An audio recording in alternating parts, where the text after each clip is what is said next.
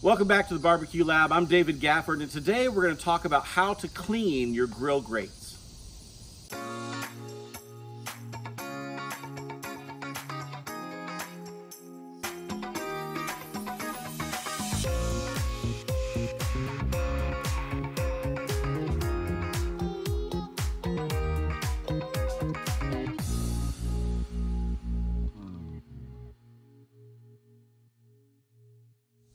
When most people think about cleaning their grill, they're thinking about using one of these. I mean, you have these wire bristles on each side. You maybe have some wire bristles of a brush on the top.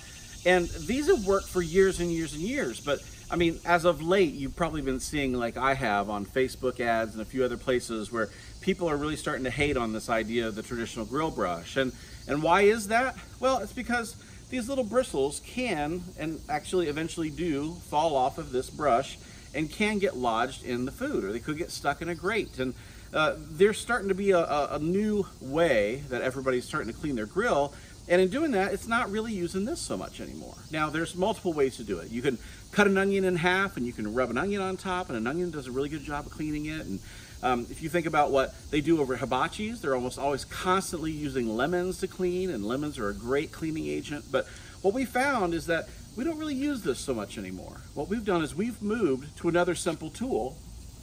It's something we use in barbecue all the time. It's aluminum foil.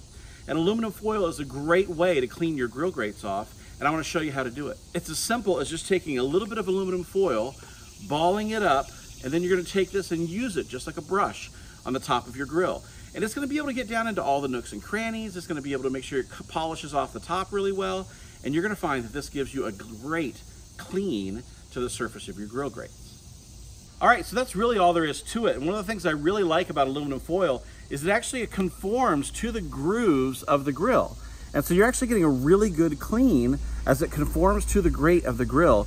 And that's something that you don't always get with everything else you use. Now, I like I think this is a great solution. If you haven't given it a try, try next time. You're gonna clean your grill grates, use some aluminum foil. It's a great idea.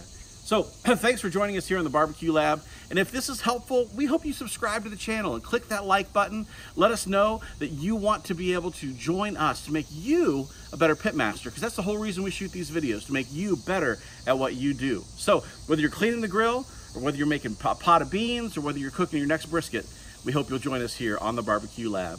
We th say thanks so much for joining us. We'll see you next time.